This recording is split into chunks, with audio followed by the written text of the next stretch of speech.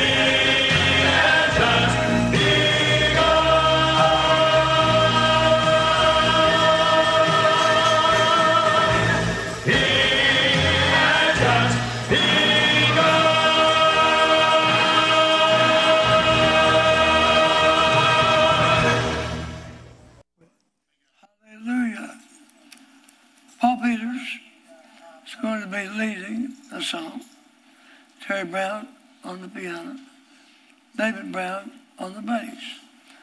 We used to do this song in the 30s and 40s at Redwood Church, Southwest Missouri. Thank God. God told me a few days back for us to do it here. Here it is, Paul Peters.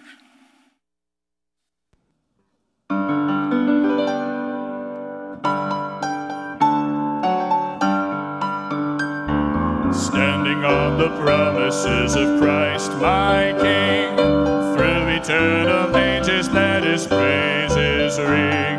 Glory in the highest I will shout and sing, standing on the promises of God.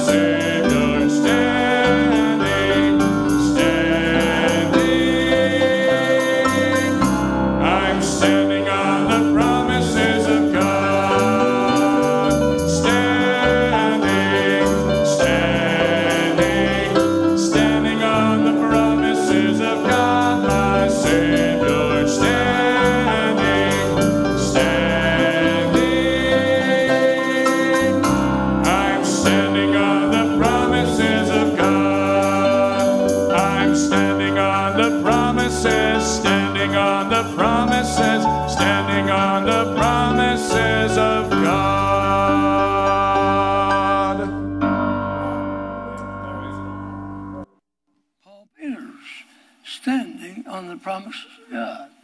That's what we do here at Water of Life. Coming up next, a lady that came to this church in 1985 with her mother and her family. And she's been here all these years.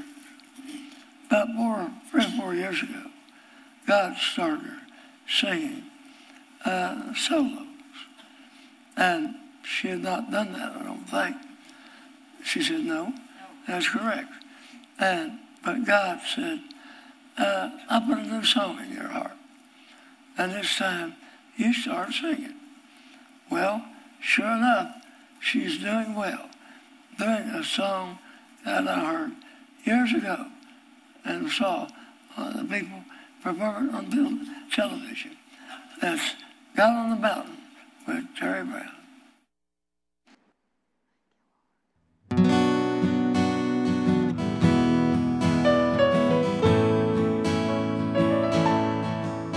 Life is easy when you're up on the mountain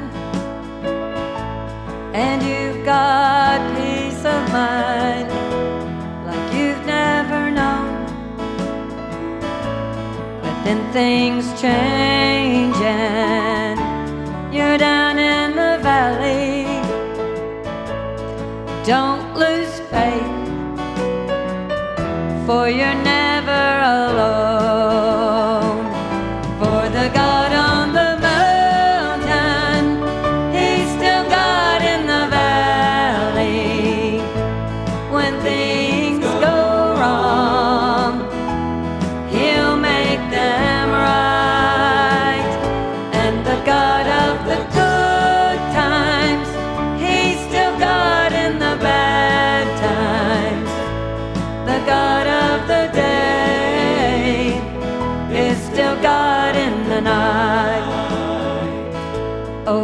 Talk of faith when you're up on the mountain and your talk comes so easy. Life's at its best, but it's down in the valley of trials and temptation. That's when your faith is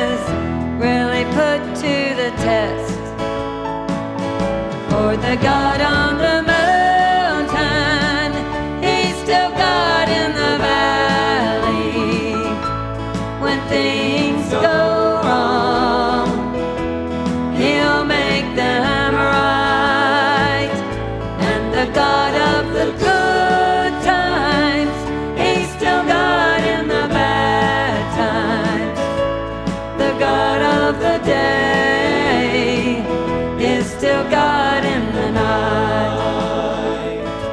Yes, you talk of faith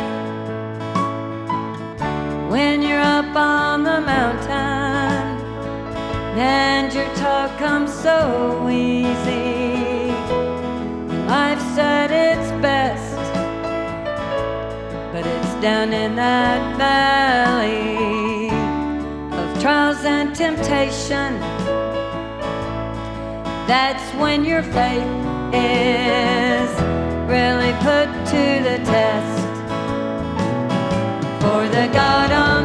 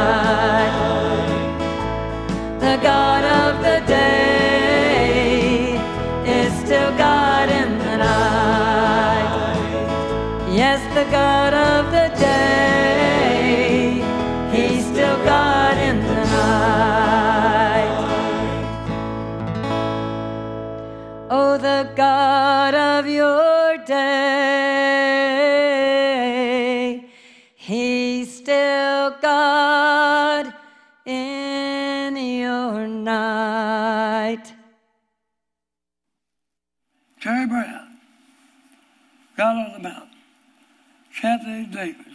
Yes, sir. And are you ready? I'm ready. Are you what? You got something to open this, or you want me to? Why don't you open it? I think I will. Yeah. 1958, University of Missouri campus, Columbia. I was 26 years of age. Had been accepted School of Veterinary Medicine, class of 62. The Lord visited me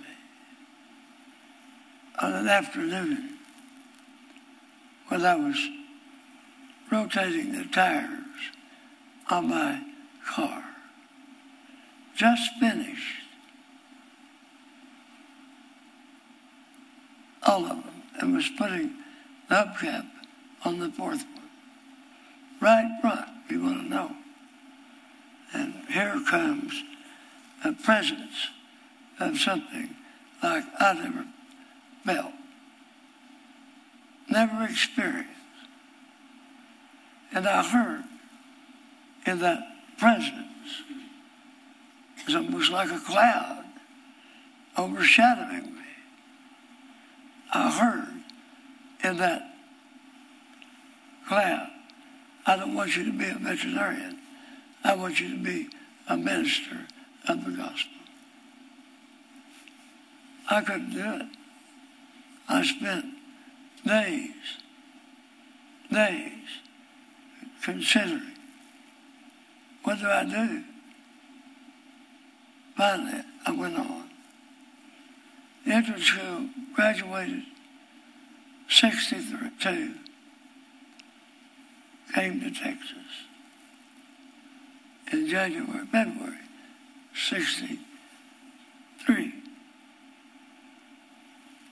Had a very successful veterinary practice. God had said, I don't want you to be a veterinarian. I didn't realize that medicine was witchcraft.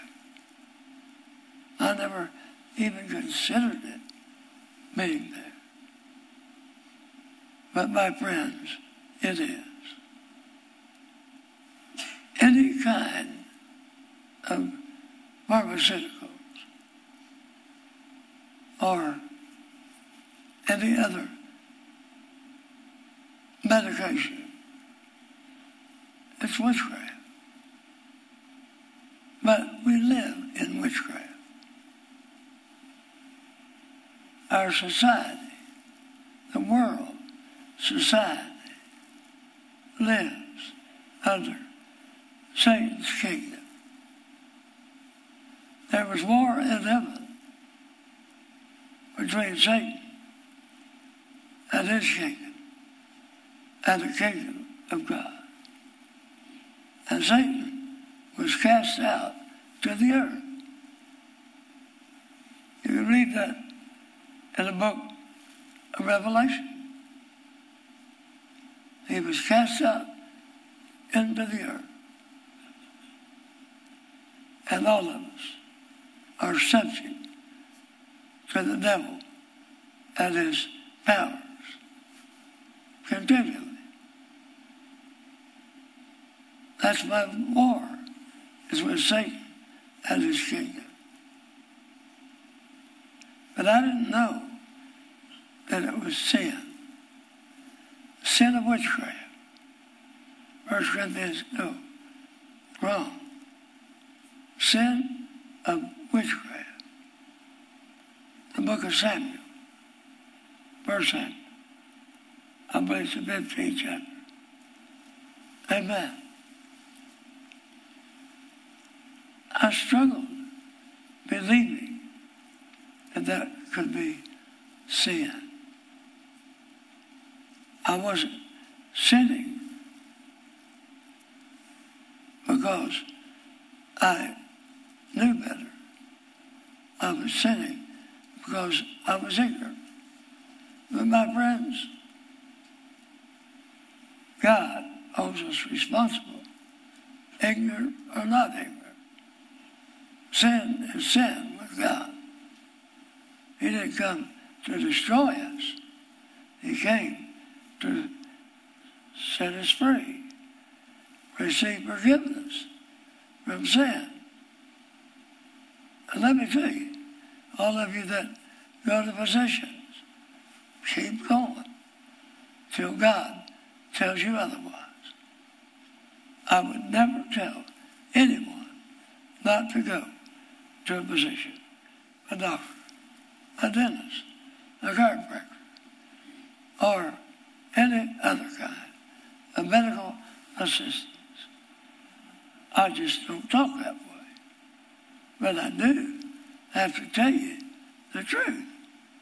I have to tell you what I know. And the 18th chapter of the book of Revelation, there's a word called sorcery. You can look it up, and in the concordance, you'll find it is pharmakeia. Pharmakeia. That's where we get our word pharmacy and pharmaceuticals. Yeah. And in the fifth chapter, verse 20 of the book of Galatians, the same word is used. It's called witchcraft. Barbecue is witchcraft. Don't take my word for it. Check it out yourself. Shall I tell you something? I heard Billy Graham say this 40 years ago. What he was doing was telling what the Word says. That's what I'm saying. Amen. So, I didn't know that this stuff could pollute me, contaminate me, bring me into bondage, sin, witchcraft, curses. Amazing. But I was in it. I couldn't do anything about it. Thank God. Amen. That was my way of living. And God never condemned me. But you better know this. He held me responsible for what I did. And he had to lead me out of it. And thank God he pretty much has. In 1986, you got anything to say? No, I'm just listening.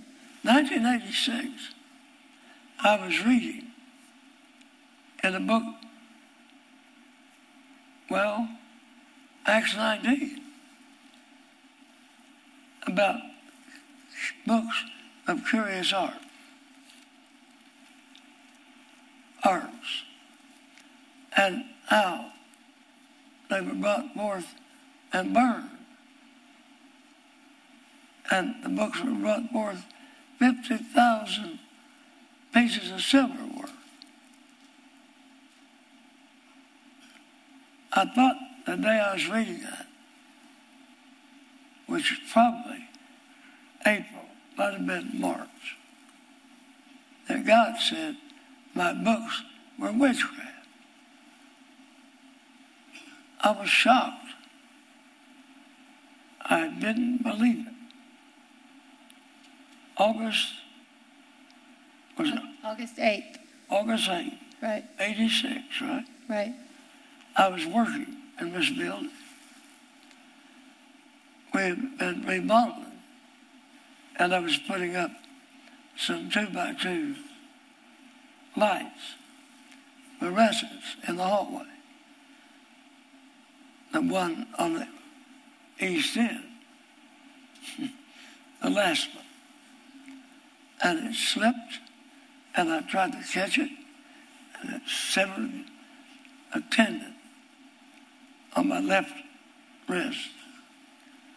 The skin was laid open. The tendon was severed. I could see it with my eyes. There was an artery, not touched. There was a nerve, not touched. There was a vein, not touched. Amen. only small drops of blood coming from capillaries. I looked at it. I was on the ladder, And I said to the Lord, How did the devil get to me? You see, folks, there's a cause for everything. In the book of Proverbs, it says, A curse causeless does not come. It's got a reason. Many of you are cursed because you don't know better. And those curses create much trouble for you. Sickness, disease, financial disaster, all because of, a curse. Thank God. Well, I'm cursed. So I had Pat, who's in heaven now, drove me to Dr. Jerry Sims' office in McKinney. Sims and I were good friends. Went in and said, put him on that table. So got on the emergency table. I was laughing. He came in and looked at my wrist and he said, You've destroyed your wrist. I said, No, I haven't. No, you have. No, I haven't. Suture the thing up. I was laughing. Patty, he said to Patty, What's he on? She said, He isn't on anything. Joy of the Lord. So they put me in the hospital. They brought in a specialist. And the next day, they put my arm, they sutured it all up, managed it, put a, a half cast on it with an ace medic. Said you can change this every day. I want to see you in two weeks. I said, okay. At the second or third day, I took the thing off and I was working. On the 14th day, I put it back on and I went to Dr. Sims' office. He took it off, looked at it. Hmm. Those of you that know Sims, don't tell what he said, like me. And he put a cast on the thing,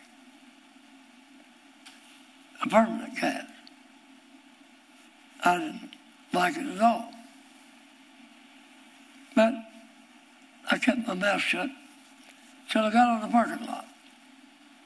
And I yelled, Jesus, how come this cast is on my arm?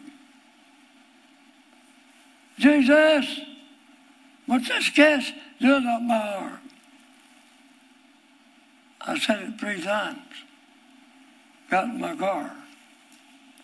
Had to go to Denton with Patty, Kathy by, Terry by. Some business. And we had dinner while we were there. As I was sitting there having my meal, I noticed that cast had a, an end of the plaster Paris gauze that was not tacked. I said, hmm. Excuse me. I go to the men's room and I start playing, teasing. And I got about two thirds of that cast ripped off. I got home. I didn't have a cast cutter, but I had a pair of 10 steps. I took it right there, cut down to there, and threw it away. That was the end of it. What happened to your books? Uh,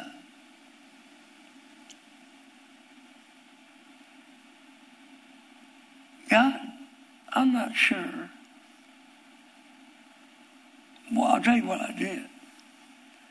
I knew my, God told me my books were witchcraft. Right. All right? Your medical books. Yeah. Right. Oh, yeah. Had a whole bunch of them. And to, to destroy them. I said, okay. And I didn't want it. But I'd take one book to a dumpster. I'd take, oh, several. But open the dumpster and drop one book in and start weeping. Start to weep. That was incredible. I kept dropping them. I got rid of everything except a Dorland's medical dictionary. I thought I might use that because it had Latin and Greek in it. I knew something about, not much, but something about both. I could certainly uh, follow the dictionaries, concordances, so forth, and come up with what was what they were saying. My arm hurt, the wrist, for a year.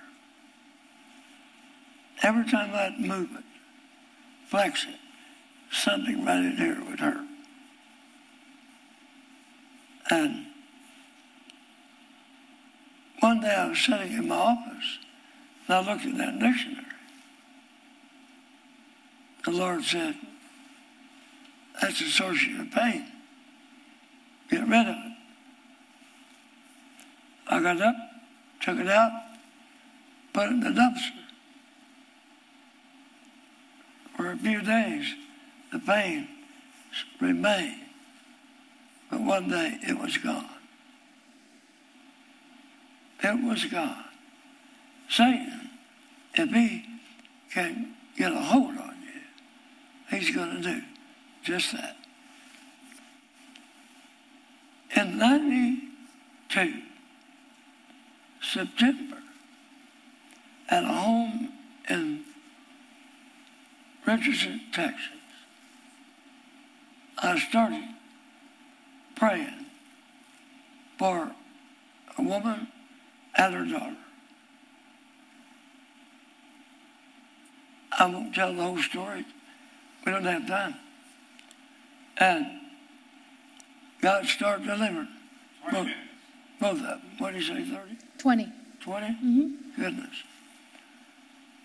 Uh, so, but the daughter, Terre Brown, I started praying for her back the next day in September. After that whole meeting, God told me to deliver her. I did. I've prayed for her for years. Still do. And it was incredible what God was doing. In October, October 92, my appendix ruptured. And I, I had not been going to physicians. I said I wouldn't, but it appeared that I was going to die with a ruptured appendix, and my faith couldn't get it healed. So I asked God what to do. He said that would be acceptable. I went, went to College Memorial Hospital, and they took out that ruptured appendix. And I was in the hospital several days. And had a nasal gastric tube and a, a catheter, an IV here. Good Lord, I was tubed everywhere. And I got up as soon as they let me and started walking. When you got there, Dr. Sims told you you had gotten there just in time, That's what he said. and you answered him. Jerry and I were not just casual friends. He said, You just got here on time. You're about to die. I said, Jerry, I'd come up here and die. Cut this thing out. And what did you, when you were loaded with tubes? Huh? I said, when you had, when you were all tubed up, you were ministering to people, Oh, more than one. in that hospital. Yes. Oh, yeah. What was interesting, on Sunday morning at 9 o'clock, I was on television Amen. saying medicine was witchcraft. And there you are in the hospital bed. Everybody. Look, Dr. Davis is going to be on TV at 9 o'clock.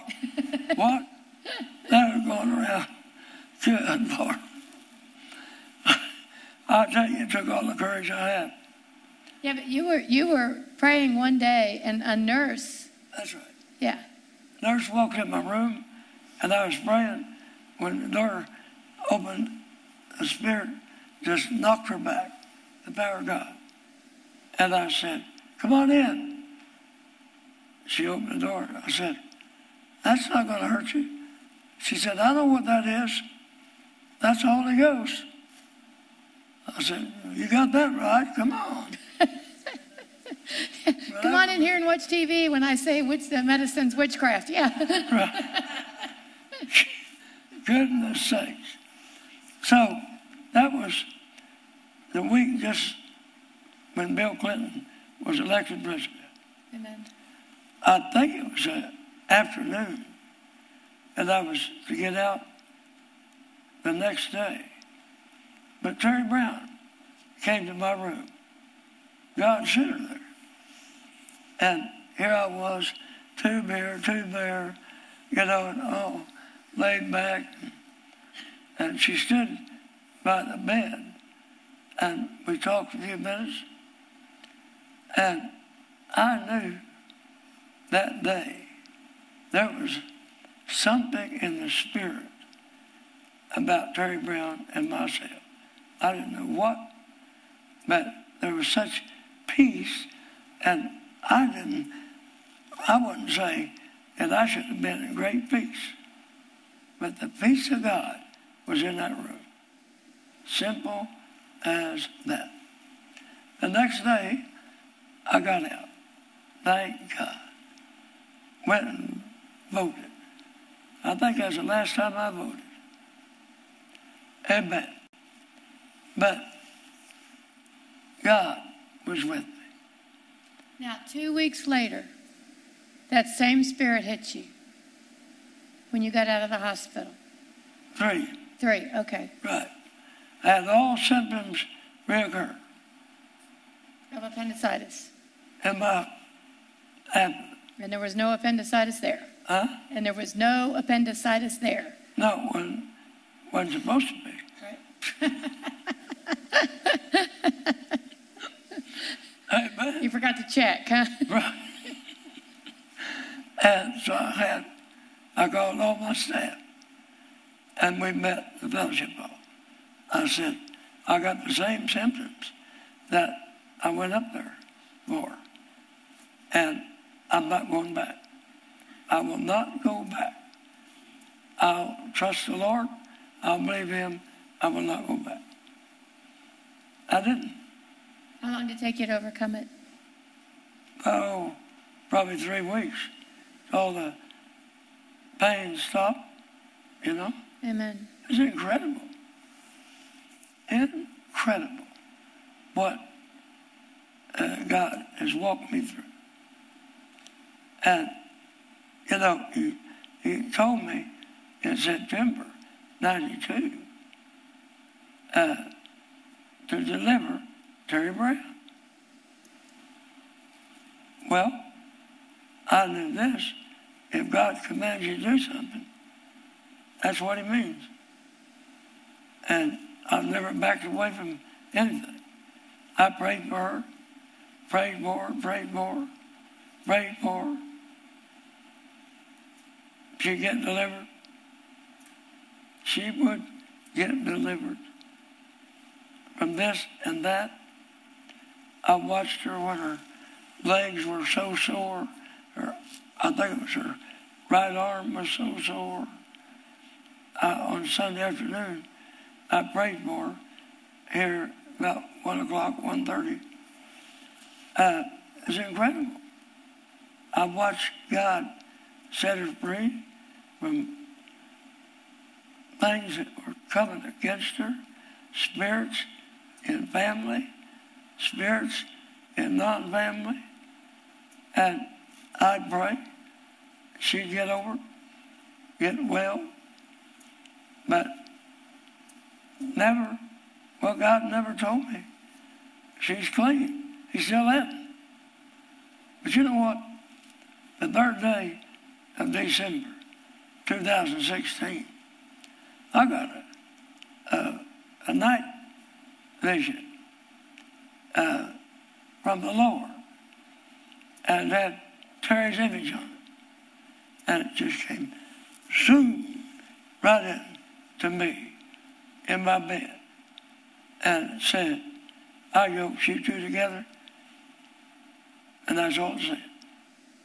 Well, thank God. Whatever God says, that's what I believe. Hallelujah.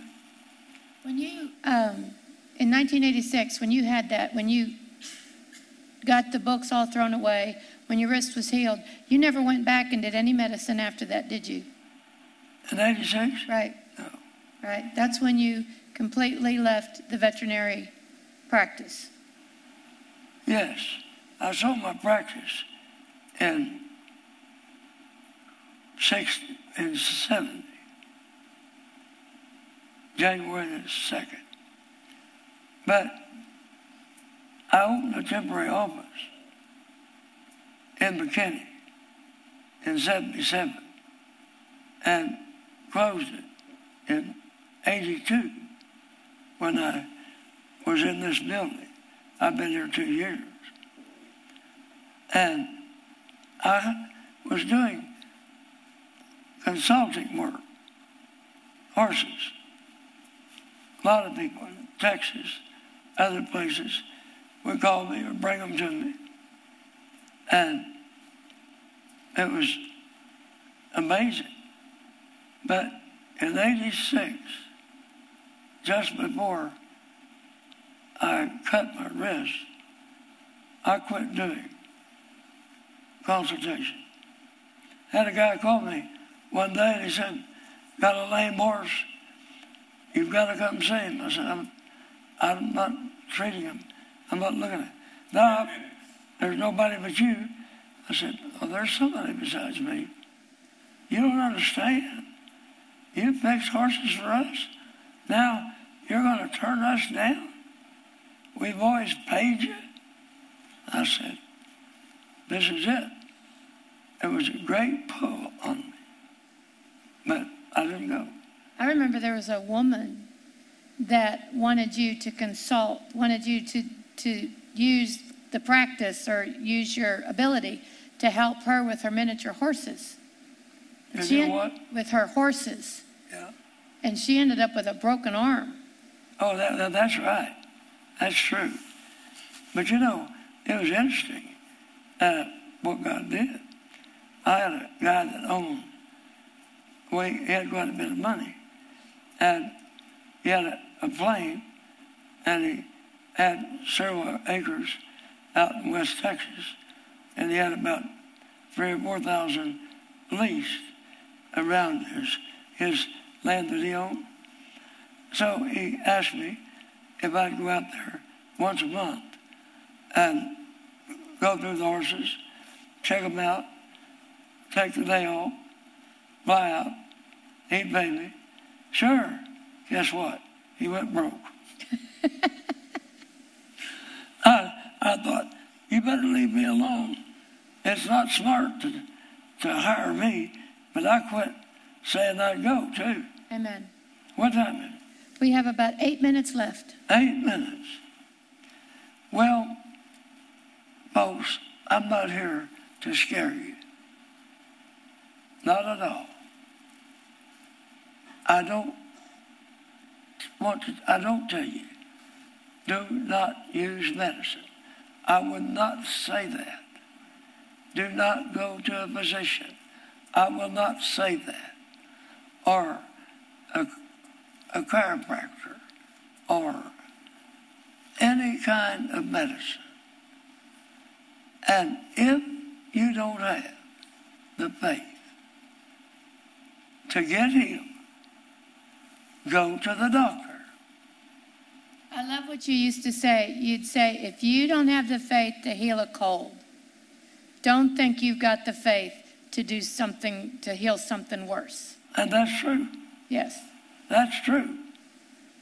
Uh, you know, I've been at this a while, Oh, yeah. and I- I haven't been to a physician since, what, uh, 92. Amen. 90? And I remember, and, it goes right along with this because I'm under this ministry. In 1987, I was pregnant and was getting ready to go to, to have the baby, and the baby was breech. And the doctor said, Well, you're going to have to have it cesarean. And I didn't want to have it cesarean, but I didn't have the faith. And I came here uh, a couple nights before, and you prayed for me, and I told you the situation. And, and, and it was neat. You, you, you were praying for me right over there, and you listened to what I had to say, and you came back, and like you did often, you went to the back here of the stage to talk to God, to get, to get a hold to whatever you needed to know. And you came back after a little bit, and you, and you told me, he said, you said, you're going to be all right. He said, you're going to be all right. Because I was scared. And sure enough, I was supposed to go on Wednesday. Well, my labor started Tuesday, so they couldn't do all the nasty stuff that they were going to do with me. We just had the baby and I went home. But the next child, the next child, six years later, I had the faith. And when that baby turned up breech, that baby turned around in the womb. And so did the one right after. So, yes, we, we, God will meet us where our faith is. And that's what you told me. You're going to be all right, Kathie. And, and how many times you've said it, and I've said it to people when you go to the doctors, you go believing the gospel. You go believing with all you've got. And we've seen many people come back with very good doctor reports because they went believing. You know, I won't give advice. I won't talk about any kind of medicines on a dog, cat, bird, gerbil, human being. No, I was separated from that stuff. You don't talk. You don't talk veterinary medicine when we have two cats. That's right. When there's an issue with the cats, we pray. That's right. Well, guess what? I just told you, take them to the vet Yeah. and get your shots, Right, right? right. And what was funny, funny to me, when she told him who she was, he said, You mean that guy's not dead? He remembered you, yes. on, t- on TV. And he said, and by the end, and, and that's why God sent us there to, to talk to him because he knew you previously. Sure. And when our conversation ended, he said, I'm going to watch him on TV again. Right. Yeah, Well, I'd recommend it. yeah.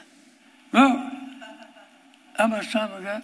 We've got about three minutes, three and a half minutes left. You got anything to speak or I just spoke it. you're happy? Yeah.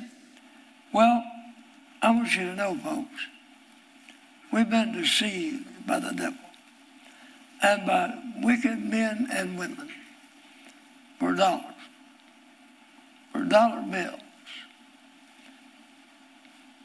The love of money is the root of all evil. Money's not. The love of money. And I love that stuff. And I made a lot. But now I live by faith. And my faith produces all of the money for this ministry. Every bit of it. Once a man walked into my office, he said, Dr. D, that's what a lot of them call me.